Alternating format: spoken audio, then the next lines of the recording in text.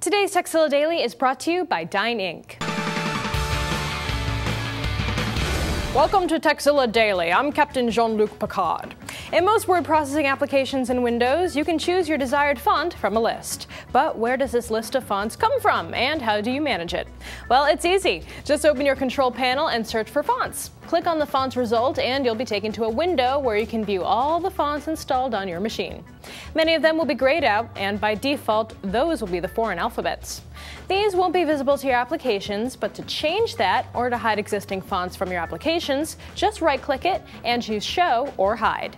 Double clicking will pop up a preview of that font where you can see all the characters in that font. However, if there is more than one font in that family, double clicking will show each member of that font family, like bold, italic, etc. So if you ever need to delete a font or just see which ones you've got installed, check out Windows Font Manager. Now, if you have a tip you'd like to share with the world, let us know. Email us at tekzilla at revision3.com.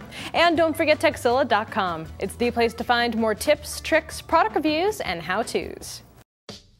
Dyn Inc. is the world's fastest growing provider of managed DNS, and they're announcing the launch of Dynect SMB, an affordable anycast DNS solution for small to medium businesses and startups. It bridges the gap between DynDNS.com for the home user and the full Dynect platform that supports the best brands on the web, including Twitter, Gowalla, Revision 3, and more. Dynect SMB gives your small business room to grow, with features such as a globally redundant network in 14 locations, multiple logins, and API integration. And as your business grows, you can easily add advanced features. And it starts at just $30 per month. Dyn Inc. offers a solution for everyone. You can find yours at dyn.com slash revision3.